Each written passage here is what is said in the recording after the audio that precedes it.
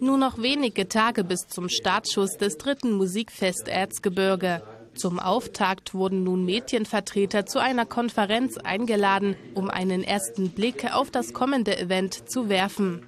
Nachdem vor zwei Jahren die hochkarätige Musikreihe mit dem Motto Hohe Kunst, tief verwurzelt, erdverbunden war, wirft man dieses Jahr Blicke von den Berggipfeln unserer Heimat hinab. Denn so lautet der diesjährige Titel. Und was man da sieht, sind, wie in den letzten Jahren, hochkarätige Musiker aus aller Welt, aber auch einige Neuheiten. So gibt es nun mehr Angebote für die Jugend, wie ein Kinder- und Schülerkonzert. Beim Nachtklangkonzert lauscht man in einem Busdepot drei jungen und innovativen Ensembles und kürt am Ende einen Gewinner. Diesen winkt eine CD-Produktion bei Deutschlandradio Kultur. Eine weitere Neuerung und wohl auch Erweiterung des Musikfest Erzgebirge ist dieses kühle Blonde.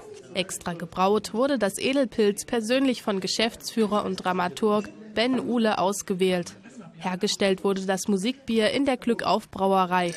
Da heißt es zum Schluss nur noch Prost. Der Kartenverkauf geht nun in die Endrunde. Für viele Konzerte gibt es nur noch wenige Restkarten. Interessenten können diese in den Shops der Freien Presse, im Festivalbüro oder online unter reservix.de erwerben.